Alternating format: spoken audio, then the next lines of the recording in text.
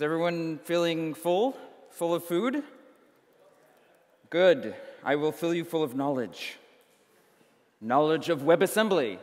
So, uh, this talk is called WebAssembly Birth of a Virtual ISA. Um, but I don't really like this name, actually, so I came up with some other ones. This one, maybe We Be Assembling. Get it? We, Web, okay. Moving on, uh, the right to peaceably assemble. Any uh, First Amendment, United States First Amendment? Okay. Simply assembling, I like it. It's a lot of S's. No? Make WebAssembly, okay, no. on Mars. Okay, we'll go with on Mars. WebAssembly on Mars. So, uh, some things that I've worked on. Uh, I worked on a number of games for the Nintendo. Uh, Incredibles 2, no, there was not a movie, it was just a game. Cars, Ratatouille, Boom Blox, really fun game. Uh, I worked on Overwatch before it was Overwatch. Yeah, I'm that much of a hipster. Thank you, thank you, okay. Uh, at Google, I work on Chrome. Uh, I also work on Native Client, uh, which you may have may not heard of. And uh, now I work on WebAssembly. Um, I also do some, I sort of help out a little on V8. Okay, so what is WebAssembly? This is what you all want to know. And I've actually, I've spoken to a number of the speakers, and people ask a lot of questions. They're like, well, what, is it going to do this? Is it going to do that? Okay, well, I'll just, let me tell you what it is. So it's a new text in binary format spec. Okay, that doesn't mean a lot. So it's designed to be fast to load and execute. So it's an alternative to JavaScript. Um, the idea is it's a compilation target, uh, not a programming language. So you would take, use something like C or C++ or Rust, uh, statically typed languages, and you compile to WebAssembly, and then you'd run that inside the browser. Uh, so here are the last three points uh, I really, really like. These are the most important in my mind. Uh, safe. So safe meaning you aren't going to be worried about um, crashing the browser. It's not going to happen. It's the same as JavaScript. You're, it's going to be safe. Uh, portable, again, extremely important. It will run on any browser. This is the idea, you know, running on your ARM, your ARM64. Do you have MIPS devices? Any, any MIPS devices out here? Okay, well, it would run on that too. Um, and this last point is incredibly exciting to me. Many, many people have tried to solve this problem, how to run native code on the web. And they've come up with any number of technologies, and they're almost never supported by all the browsers. And I know because I worked on native client, and, and that was one of the biggest issues. WebAssembly, from the start, we have been working with all the major browser vendors. So we have uh, Mozilla, Edge, Chrome, and Safari on board. Um, and very, very excited uh, about that. So um, this is the point that I like to make about WebAssembly. It's the shortcut to the JavaScript engine's optimizer. So your JavaScript engine already does optimize a lot of code for you. That's why it runs so fast. But there are issues. So let's, let's talk about that a little bit. Um, who knows exactly how JavaScript optimization works? You probably have sort of a fuzzy notion uh, but maybe you haven't delved into the source code of SpiderMonkey or V8 or Chakra. Well, okay, so apologies to any of the JavaScript engine developers here, but I'm, I'm going to sort of gloss over, I'm, I'm going to describe it a little bit. So it's tiered. The idea is that there are multiple levels uh, of optimization. You, you, initially don't have uh, the code running at full speed because you don't need it, right? um, hotter code is the code that you need to have optimized. And so what the JavaScript engine will do is it'll start to run your code, right? And then it looks at the types flowing through the system and it says, okay, this looks like an int. And then if it's confident that's in an int, then it will say, okay, I'm going to recompile this, assuming that it's an int. It doesn't know that the next time you call it, you, you could pass in an object or whatever, right? If it makes a wrong assumption, it de-optimizes, and then you go back to the slow version of the code. I assume everybody kind of has a, an idea about how this works. So WebAssembly is basically just shortcutting that, right? Why try and figure out what the types are? Why not just say, hey, here's my types, you know? So, okay, that's a, that's a sort of brief uh, explanation of what WebAssembly is. Compilation target, shortcut to your JavaScript engine's optimizer. What is Java, WebAssembly not? It is not a replacement for JavaScript. A lot of people think this. They think, oh, well, you're just going to take my JavaScript and make it run faster, right? No, no, that's, that's not what it is. Your JavaScript engine is already an extremely fast JavaScript runner, right? Execution engine. Converting it to WebAssembly and then running it is not going to make it any faster. It would make it slower. And there's issues with garbage collection as well. So that's not the, that's not the purpose. It's also not a compilation target for languages that compile to JavaScript. So this one's a little bit fuzzy because there are languages that maybe could work, right? But if your language relies on certain aspects of JavaScript, uh, let's say um, the object model or, uh, or things like that, WebAssembly is maybe not going to map uh, perfectly, right? If your language is uh, statically typed, and in the future, when we have garbage collection in WebAssembly, uh, you, you can maybe compile WebAssembly to, or compile your language to WebAssembly in that case. But for now, just think, probably not, probably not. And the last point I want to make here is not a programming language. It's a compilation target. Now, some people might disagree with me here because, you know, you can compile assembly. You can, you can write assembly. Anyone written assembly? Okay. It's, it's not fun. You can do it, but the primary use case we're talking about here is taking, something, taking code like C, C++, Rust, D, that kind of thing, and compiling down. Okay, so why WebAssembly? Oh, there's a whole big list of things here. Um, I'll let you read them. I, I, won't read them out to you. Um, but the important thing to think here is um, if you have code that is CPU bound, right? If you have code where you're doing a lot of computation, right? If you're doing uh, uh, code like, say, uh, so some things that you might see here like uh, encryption, that's something that actually might work very well uh, for WebAssembly. Compression, um, platform simulation, uh, that's one that I like quite a bit. VR and low latency, that's actually a very interesting point to make because uh, for VR, you probably, and actually the, the next speaker will talk about this more, and hopefully he agrees. Um, it's important to be able to run extremely fast, right? Faster than 60 frames per second, if you can. Um, do you want GC pauses? Probably not, right? So um, being able to have a consistent performance, which is what uh, WebAssembly gives, that's very important. Um, video augmentation. Uh, being able to manipulate audio and video, all, all very important things. Uh, and so the link here is, is to the WebAssembly GitHub page, and you can read all about that stuff when I uh, give you the slides. Okay, so a demo. This is a, this is a Game Boy emulator that I wrote uh, native code for. Um, I, I, did it in my spare time. And um, I actually compiled, the, uh, compiled this to WebAssembly yeah, this, do you remember this game? Anybody? Um, I thought with the 80s theme, this is in 1989, you can see that there. Um, I compiled this into WebAssembly actually in my hotel. Um, I, I, never tried it before, and I was just like, oh, okay, let's, let's give it a shot. Um, I think it's pretty cool. Uh, so you might say, okay, well, we could have already done that with, with JavaScript. Um, why, why do we care? Well, so here's the thing.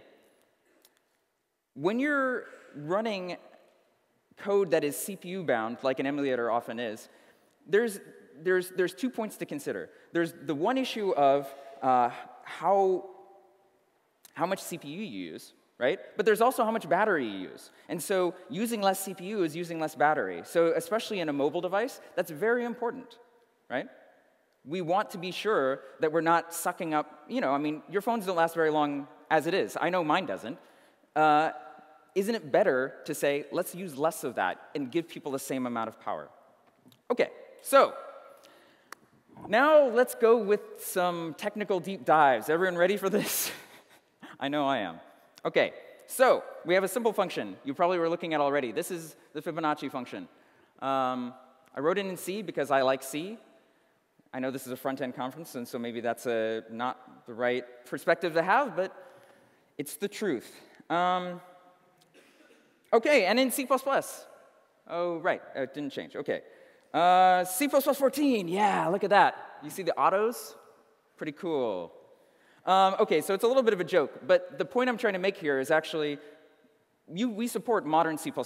So, uh, okay, maybe auto is not the most modern C++, but anything you can imagine, templates, uh, unique pointer, shared pointer, all that kind of stuff, it's in there.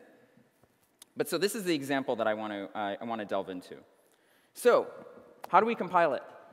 Um, well, you may have seen this before. This is Emscripten. So Emscripten is a compiler that takes C and C++ and compiles to JavaScript, to ASM.js. But it turns out that that's actually also a useful compiler for compiling to WebAssembly. And so there's actually a function. Uh, it will, will, currently, this is how you do it. It'll be better in the future, but uh, currently this is how you do it. You compile and you pass in Binaryen, which is the name of the WebAssembly sort of uh, backend for Emscripten. And then you would say the, the functions that you want to export. In this case, underscore fib, and that's the C mangling um, of the name. Uh, right, and so I just talked about those two. Okay, so what's happening here? We're compiling C code using Clang via Emscripten. Emscripten generates ASM.js. So, who's heard of ASM.js? Okay, yeah, good number of people. Um, who's used ASM.js? Very few. Okay, well, so ASM.js, uh, it's kind of the history of WebAssembly. It's a low-level optimizable subset of JavaScript. The idea is that you use type annotations on your JavaScript to be able to tell the JavaScript engine, no, no, no, this is an int. It's not an object. It's not a number. What's a number? It's an int. I know it's an int. Um, make it an int. Uh, you have linear memory. So the idea is you use an array buffer, which is kind of a weird thing. A lot of people don't use them, um, but it's extremely useful for, for emulating uh, memory for, uh, for ASM.js. And that's, it, it, it, basically represents the C address space. It's done via a, a linear memory array buffer. Um, and you have in, import functions and export functions. And, um, and as I mentioned, you have type annotations. So let's look at how the Fibonacci function is converted into ASM.js. So what you can see here is it actually looks very much like uh, the C code. And it actually looks JavaScripty, right? You know, there's a little bit of weird stuff, but like there's the module there, and the module is a uh, function that's closing over that the Fibonacci function there. And then you have the exports at the bottom. You see where it says return fib fib. Um, yeah, so at the very top, you see this use ASM. That's the note to the uh, JavaScript engine to say, compile this as ASM.js. And then you have these annotations here. So this n equals n or 0. That's one of these JavaScript tricks you probably all know. When you or something with 0, it says, OK, make it an integer. If it was a float, make it an integer, right? So this annotation lets you run ASM.js as basically um, as JavaScript, right? And so you can see a plus b or 0. It's the same sort of thing there. It's doing an annotation that says, make this an integer. Um, OK. So, wow, ASM.js, it's, it runs fast, right? You've probably seen it run in Firefox. Um, and, it, and, it's actually pretty good speed. Um, why not just use ASM.js? Like I said, it's uh, ASM.js where engines can actually make it run quite fast. Um, and it's just JavaScript, right? This is the quote that people say. When you run it, if you run it in an engine that doesn't support ASM.js, it, it actually runs just like JavaScript does, because all the type annotations are what JavaScript already would do, right? But there's a number of problems. Um, parsing can be very expensive. So when you take a giant blob of C code and you compile it, you can end up with ASM.js modules that are megabytes large, right? And you have to use your JavaScript engine to parse that. It's very, very slow. Um, or it can be. Uh, validation failure. So this is another issue. When you fail validation, because all those annotations are required by ASM.js, as soon as you get to the point of failing validation, it has to say, oh, actually, you probably wanted this to be JavaScript, and it has to run as JavaScript. And, and the issue with that is it means it's hard to extend functionality. So now, imagine that we want to add shared memory. Okay, I know, kind of a dirty word, but imagine you wanted to do that. Well, how do you do that, right? Now you have to add shared memory to JavaScript to be able to support it in ASM.js, even though ostensibly they should be separate things, right? Uh, and this last one is a big one for me. There's no 64-bit integers, right? I mean, it's crazy. We're, I mean, we're all running 64-bit phones, and we can't do 64-bit integers? Okay, so um, Maybe we can do better. Okay, so we're going to take our ASM.js and we're going to do the next step. What is the next step? We're going to convert it to the WebAssembly text format. So you look at this, and if you're a Clojure fan, you probably go, oh, wow, that looks like Lisp. Wow, cool. It's kind of like Lisp, but there's a reason for that. The reason we have it look like this is because originally it was just an AST. It was just an abstract, abstract syntax tree representation of the, uh, the structure of your program. So uh, the reason that we like that is that it's e very easy to parse. It's very easy to manipulate, right? And so you can see that here. It's very verbose, but it's, you know, it's not too, uh, too hard to, to, to read. So uh, what we have here is these two locals, right, A and B, and um, they, by default, are set to zero because we don't want non-determinism. And then we have set local, and we say set local B, I32 const 1. You'd never want to write that, but that's how it, it's represented so that you can very easily parse it and say this is an int right? Okay, so now we have a loop. Um, this is equivalent to uh, what I have on the side here. It's kind of like a do while zero. Now that seems weird, right? Because that's not a loop. That's nothing. If you fall through the bottom of it, right? The reason why it's represented that way is because a loop in WebAssembly is really just a label that is the top. You're just saying, if you ever do a branch, branch to the top, okay? And um, so you can see that here. We have exit and next. Exit is branching to the end. Next is branching to the top. You can think of it as break and continue, right? And so we have this uh, statement here, brif. brif stands for branch if, right? It's a very common uh, thing to want to be able to generate if you're generating code. So in this case, it's equivalent to something like if n is less than or equal to 0, break. And so what you see here is this LES. That stands for less, to, less than or equal to signed. So it's doing a signed integer comparison, right? Okay, so now we have a little bit of a tricky one here. This is set local, i32 add, get local, tee local, get local. Did everyone get that? So what's happening here is we're actually doing a bit of a trick.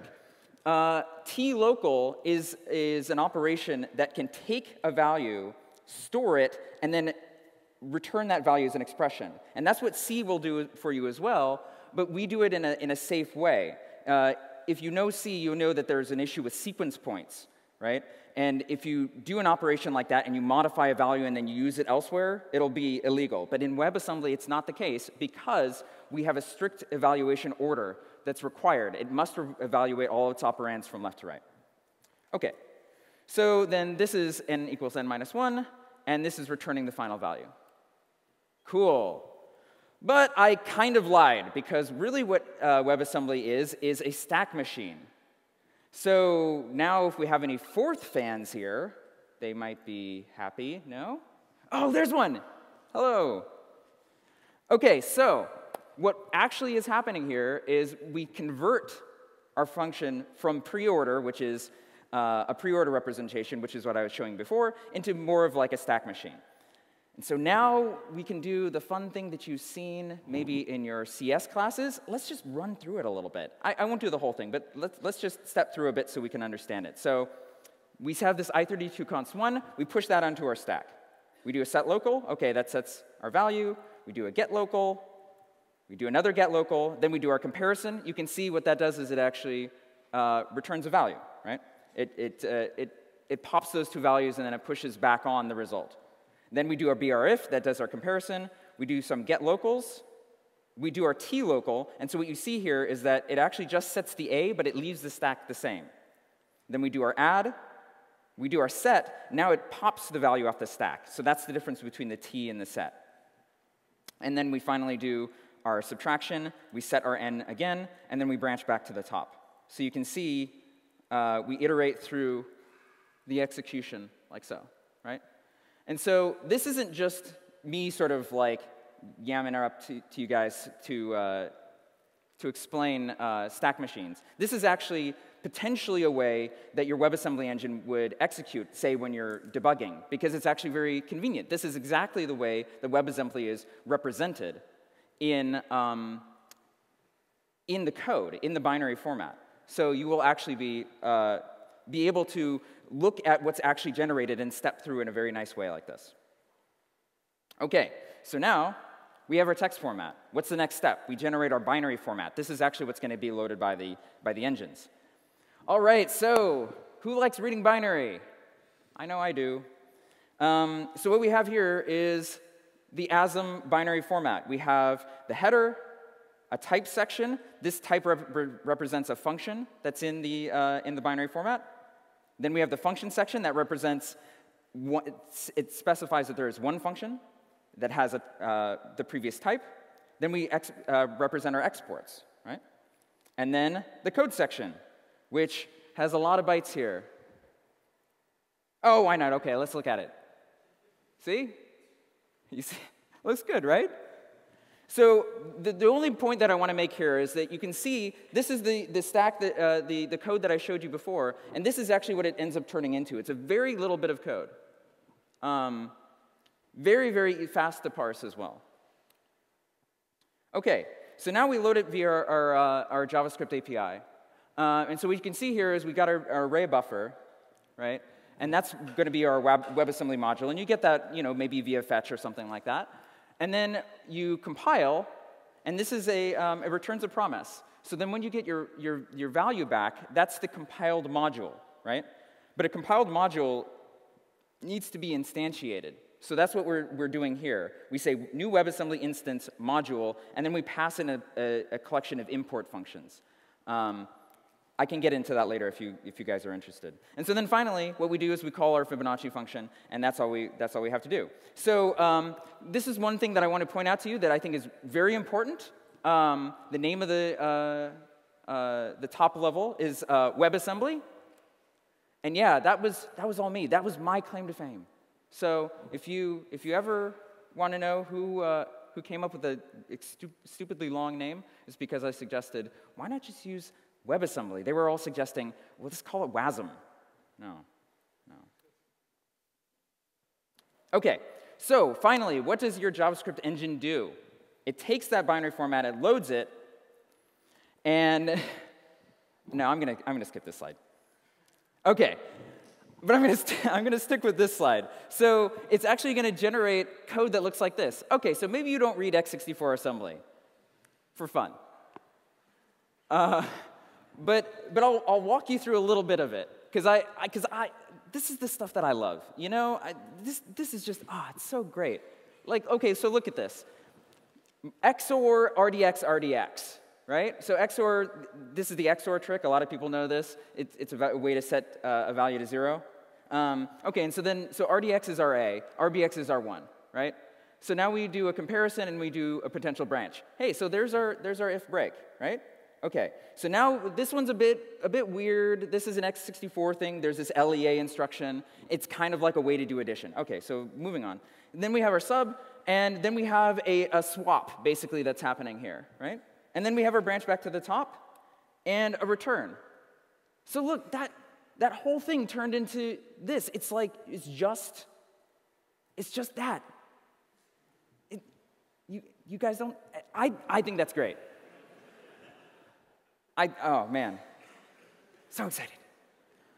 Um, okay, so there's a lot, there's a lot more to mention. I, am not going to go into all this. I just wanted to kind of give you an idea of what exactly we're talking about here when we're talking about WebAssembly. We're talking about taking something that's very simple, very low level, and compiling it directly down so that you know you're executing something very quickly on your, on your target architecture. So there's, a, like I said, there's a lot more to talk about. There's linear memory, uh, very similar to ASM.js. There's other control flow operators. BR table is kind of like a, a jump, jump table instruction. Um, there's indirect function calls. You can import functions. That would be the way that you would actually access JavaScript. Uh, there's export functions. That's how you basically uh, would expose a function to JavaScript that you can call into. Um, 32 and 64-bit floating point operations with a full suite of, uh, of operations that you might like. Uh, start function, that's sort of like an initialization. So if you know much about the JavaScript module format, it's sort of like having that init initializer function. Um, and global variables, uh, which, I mean, who doesn't like global variables? so uh, if you want to know more, or if you want to like follow along, because we do it all the development out in the open, you can go to github.com slash webassembly. Um, you probably want to take a look at the design repo or the spec repo, or the, the repo that I work on, which is called Sexper WASM Prototype. Say that three times fast. Thank you very much. Lots of questions from the audience. Great. Uh, this sounds a bit like Java applets. Why is this better? Java applets. Well, so that's interesting because here's a big difference. Java is a plugin, right? This is running directly inside the browser. It's the same JavaScript engine, right? That's a, that's a very important thing, thing to, to note about this. Also, it shares the same stack. So when you call a function, out from JavaScript into WebAssembly, you can call back and forth, out, uh, back and forth between uh, WebAssembly and JavaScript, and there's no issues. Now, you could do that with JavaScript, but there are, but there are, uh, or sorry, with Java, but I believe that there are, are complications there. Um, and again, it's, that's a plugin. It's, it's disconnected from the browser. This is integrated. Excellent, thank you. Uh, a couple of niche questions, okay. maybe. Will we be able to run some of the Node modules with C, C++ add-ons in the browser with WebAssembly? I, I, think that's likely. I mean, I'm not going to speak for what the Node.js developers do, but um, V8 has a WebAssembly backend built into it. So if Node.js decides that they want to, uh, to include WebAssembly, then yes, of course, you could take a module, import it, and then you won't have to write uh, platform-specific or even architecture-specific modules. So I, I, think it's quite likely. Excellent. And, and a similar one, will, would WebAssembly be useful to run scripting language on the client, e.g. compiling MRI Ruby to WebAssembly? So um, that's a good question. That's something that um, you can do, but there's a question as to whether or not it will, it will give you the benefits that you want, right? So um, for example, compiling Python or Ruby uh, to WebAssembly, what you really would be doing there is you'd be compiling the, uh, the interpreter, right? The, the Ruby engine or the Python, uh, like CPython to WebAssembly and then running that, which means that it has its own GC disconnected from the JavaScript GC, and there are issues there. So now the future versions of WebAssembly where we do have uh, GC integration, By maybe. GC, you mean garbage collection? sorry, garbage collection, yeah. Excellent, thank yeah. you. Um, a couple of old guy questions okay. from me, because I'm MC, so I claim MC rights. Do it. What's the backwards compatibility story? I mean, this is lightweight. It's going to go down the wire very fast. It's going to execute very fast. So I can expect lots of people to start delivering traditional websites yeah. this way. What happens if I view it in IE10? So that's a, that's a great question. Um, so a lot of work we did originally was to make it so that it was polyfillable. And as you saw, it actually is very similar to ASM.js. ASM.js you can already uh, run, as I said, on, on older JavaScript uh, engines. Um, the issue with WebAssembly is that we, we will like to start diverging from, from JavaScript. And so, yeah, what is the, the, the story there? I think the initial story will be you compile an ASM.js module and a WebAssembly module, right? Um, later, you might have to say, okay, well, certain features we, we can't provide. And, and that's, you know, we have to move forward, right? Indeed. Does WebAssembly run in a VM in the browser? In a VM, well, I mean, I, I guess if you want to call it the JavaScript VM, but like I said, it's generating actual assembly uh, code. So it's, it's, it's JITted. Um, yeah, it depends on what you mean by VM. Is it the web if the source code for a page is not human readable? That's a good question. But, but so